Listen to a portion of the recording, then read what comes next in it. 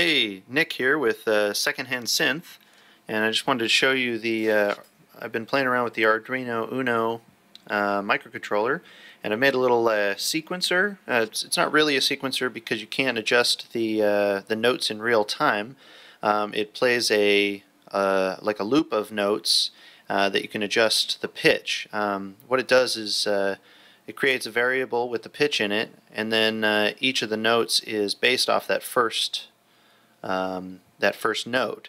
So if you look here in the code, uh, we have the, um, let me focus here, we have it creates a variable, there's uh, this pitch, that's the first note that it creates, and uh, the first note is multiplied by 2.5, the second note is multiplied by 2, the third note 1.5, and then I think the, the fourth one is just the, the original pitch tone in it. So it plays that block of 4, and uh, then it takes that original pitch, multiplies that variable by 5 and then does the whole thing again and then takes that original note and multiplies it by 1.5 so you have four blocks of notes based on one note and so um, it'll play through this entire sequence and then it will uh, it'll loop back to the beginning and do it again. Uh, the cool part is when it loops back I have a potentiometer set up here so that you can adjust the the pitch of the whole sequence. So let me start it up here reset it. Um, here's the speaker, kind of cool. I'm get it down by the speaker so you can hear it.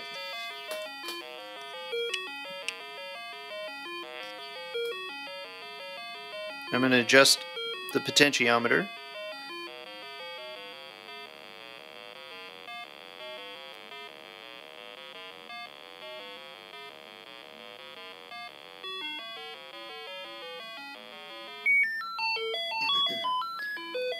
So you can hear the different, uh, as it loops through, and uh, kind of the cool thing is it won't um, change the pitch at all until it's looped all the way through, and uh, then it reads the potentiometer, makes a new original note, and uh, goes back to the beginning and uh, cycles through again. So it's kind of cool. Uh, it's a neat, I guess, feature of it is that um, you could control it and have the pitch only adjust once it's completed the, the sequence of notes.